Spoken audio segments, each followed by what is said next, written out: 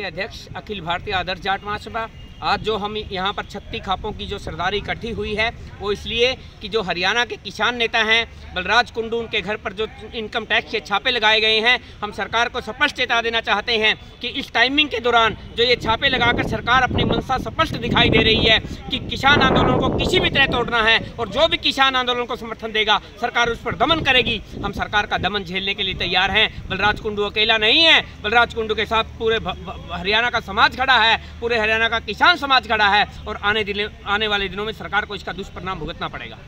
तो उसको जो सरकार को जवाब देने के लिए कोई आपकी रणनीति फ़िलहाल? हमने आज जो रणनीति बनाई है उसके तहत हम बलराज कुंडू भाई की प्रत्येक ज़िले में एक किसान महापंचायत करवाने जा रहे हैं और उस किसान महापंचायत के ज़रिए सरकार को ये बता देना चाहते हैं बताएँगे और दिखाएँगे भी कि पूरे पूरा किसान वर्ग किसान बलराज कुंडू के साथ खड़ा है और उसने बलराज कुंडू को छेड़कर एक बहुत बड़ी आफत मोल ले ली है सरकार ने और इसका दुष्परिणाम सरकार को भुगतना पड़ेगा। तो कब से शुरुआत होने जा रही है? परसों चार तारीख से जो चार तारीख चार है चार मार्च है उसमें हम सबसे पहले मैं अपनी अब मैं आमंत्रित करने आया हूँ। हम जींद में बलराज कुंडू भाई का प्रोग्राम करने जा रहे हैं। कैथल में बलराज कुंडू भाई का प्रोग्राम होगा करनाल और कुरुक्षेत्र में होगा और पूरे हरियाणा में हम बलराज कुंडू भाई को लेकर जाएँगे और स्पष्ट दिखाएँगे कि हरियाणा का बच्चा अकेला नहीं है। पूरा समाज उसके साथ है। मेरा नाम सत्यावान नरवाल, भारतीय किसान यूनियन चडोनी प्रदेश उपाध्यक्ष।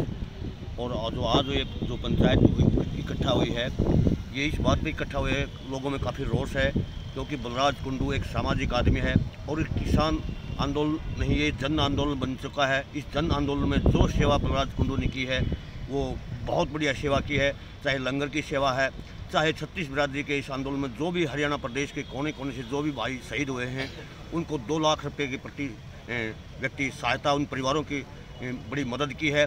और आज सरकार इस बात से बड़ी घबरा चुकी है। मैं तो ये कहता हूँ कि ये जो छापे मारे गए हैं, बलराज कुंडू के घर पे नहीं मारे गए हैं। इस प्रदेश के किसान, गरीब और मजदूर जो जिन परिवारों की बलराज कुंडू ने मदद की है, उन परिवारों पर छापे मारे गए हैं। जो इसका आने वाले समय में सरकार को गंभीर परिणाम भुगतने होंगे। आज पूरे गाँव में, पूरे हर समाज में इस चर्चा का विषय बना हुआ है और बहुत जल्दी ही हमारे किसान यूनियन के लीडरों से भी हमारा संपर्क हो चुका है। उनमें भी काफ़ी रोष है, क्योंकि अगर बलराज कुंडू मदद करता है तो बलराज कुंडू के घर पे छापे मारे जाते हैं। अगर कोई हमारा आरती भाई हमारा सहयोग करता है इसमें, कोई गेहूँ का, आटे का, चावल का तो उनके घर पे छापे मारे जाते हैं। अगर कोई हमारा भाई कुछ, कोई भी अग्रणी समाज में आके अगर इस आंदोलन में मदद करना चाहता है तो उसी को दबाने की कोशिश की जाती है। ये सरकार की कुचाल बिल्कुल नहीं चलेगी और इसका जनता मुँह तोड़ जवाब देने के लिए तैयार है और मन बना चुकी है। इसके लिए चाहे कोई भी कुर्बानी क्यों ना देनी पड़े।